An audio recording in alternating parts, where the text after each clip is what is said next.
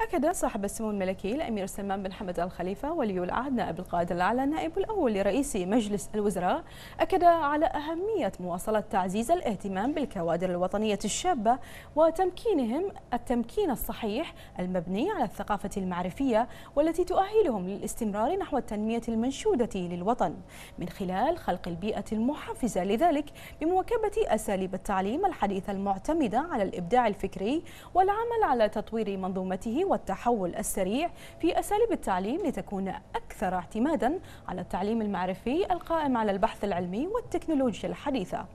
جاء ذلك لدى زيارة سموه حفظه الله اليوم إلى جامعة خليفة في أبو ظبي وكان في استقبال سموه لدى وصوله الدكتور عارف الحمادي مدير جامعة خليفة حيث أشاد سموه بما تبديه الجامعة من اهتمام وحرص على تعزيز أهمية الجودة والابتكار لدى الطلبة الدارسين فيها وذلك بفضل سيرها على الخطى والأهداف المرسومة لها منذ إنشائها قبل تسعة أعوام.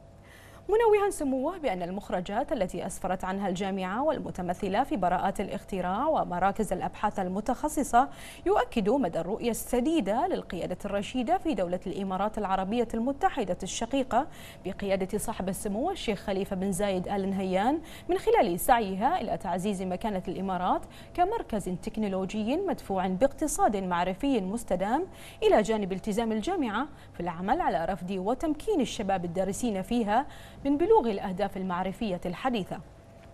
وخلال الزيارة التي قام بها صاحب السمو الملكي ولي العهد نائب القائد الأعلى نائب الأول لرئيس مجلس الوزراء